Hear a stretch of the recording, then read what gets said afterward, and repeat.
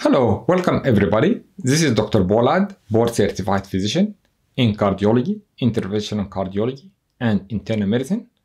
I am here to help you with all the information you need for your heart health and to inform you about the latest developments and treatments in cardiology. If you are new to this channel, then definitely consider hitting the subscribe button below and switch on the notification bell so you don't miss any new videos that I post. Today I'll be talking about heart catheterization.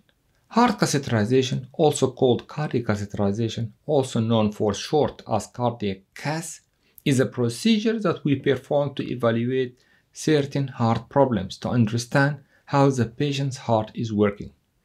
Common reasons for performing this procedure is to diagnose possible cardiac causes of chest pain, to evaluate the coronary arteries after having an abnormal heart stress test, to evaluate abnormal heart valve conditions such as narrowed or leaky heart valves, to evaluate high blood pressure in the arteries of the lungs, or to evaluate an enlarged or weak heart. The procedure takes about an hour or so, and you are awake during the procedure, but you are given medicines to make you relax and take away the pain. This is an invasive procedure that is performed in the cardiac catheterization laboratory or the operating room. There are two types of heart catheterizations. Left heart catheterization evaluates issues in the left side of the heart, and catheters are passed through the aorta to the left side of the heart. The other type is right heart catheterization, and this is done to evaluate issues in the right side of the heart, and catheters are passed through the veins to the right side of the heart. In this presentation, I will be talking about left heart catheterization. There are two components of the left heart catheterization. When the catheters are passed to the heart to evaluate blockages in the coronary arteries that are on the surface of the heart, the procedure is known as coronary angiography. When the catheters are passed to the chambers of the left side of the heart, either to measure pressure or to evaluate heart function or perform invasive work in the chamber of the heart, the procedure is labeled as cardiac catheterization. Here is how I perform the procedure. The patient is brought to the cardiac catheterization laboratory and either the wrist or the groin is cleaned and prepared for access to the arterial circulation. The choice of the access site, whether through the wrist or the groin, depends on multiple factors such as operator preference and experience, medical issues such as blood thinning or anatomical issues or medical issues that the patient might be experiencing. Here is how I access the radial artery by a small needle followed by insertion of a short sheath.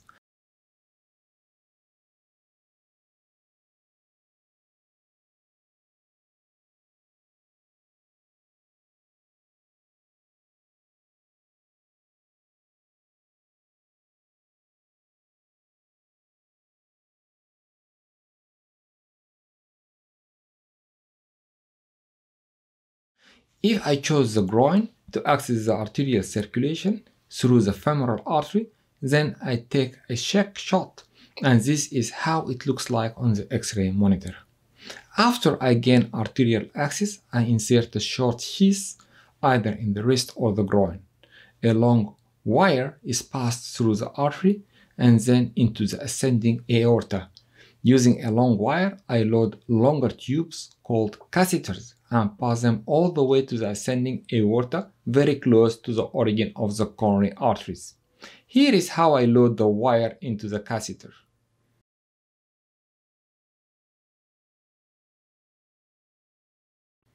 And here is how it looks like on the X-ray machine, bringing the tip of the catheter close to the origin of the coronary arteries. I then remove the long wire and remove air from the catheter and then I direct the tip of the catheter under X-ray imaging to the origin of the coronary arteries. Commonly, I engage first the left main stem artery by pointing the tip of the catheter to the left side. This artery acts like a tree trunk, and two main arteries that feed the left side of the heart branch from it. One artery is called the left anterior descending artery, abbreviated as LAD, and this is the main artery that delivers oxygenated blood to the main muscle of the heart, which is the left ventricle. This artery runs on the front of the heart and has branches such as the diagonal arteries and septal arteries and extends to the apex of the heart. This is how it looks like on the X-ray monitor during the procedure.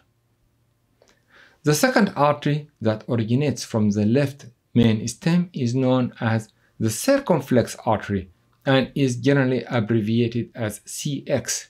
This artery turns left immediately after its origin and continues to course on the left side of the heart and then to the back of the heart, giving branches known as obtuse marginal arteries on its way. This is how it looks like on the X-ray monitor during the procedure.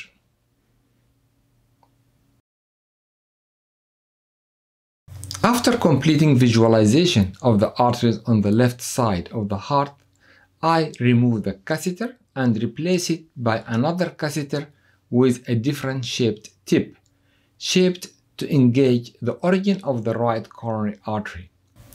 Contrast is injected to visualize that artery as it courses on the right side and then the back of the heart giving branches such as the acute marginal artery the posterior descending artery, and the posterolateral artery. This is how it looks like on the X-ray monitor during the procedure.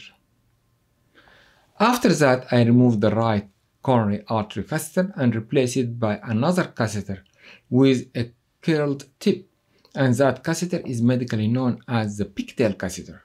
This catheter is designed to cross the aortic valve into the left ventricle the main pumping chamber of the heart that pushes blood out of the heart into the circulation. Once the catheter is in place, I inject contrast into the left ventricle to evaluate the contraction of the heart to assess whether the heart function is reduced or not. This is how it looks like on the X-ray monitor during the procedure.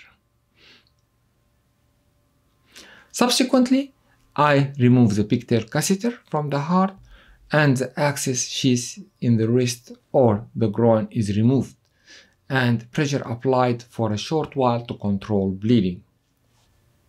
After the procedure, I discuss the findings with the patient and the family and I discuss the treatment options if the findings warrant that. If you have got any question about what I presented to you today or any cardiology question in general, then subscribe to my channel and share your question in the comment section below and I will reply to you. If you have a question that you would not like to share in public, then subscribe to this channel, follow me on Twitter at Dr. Bolad and send me a private Twitter direct message and I will reply to you. Please like and share this video with family and friends this is Dr. Bolad helping you with your heart health. Thanks for watching and talk to you soon.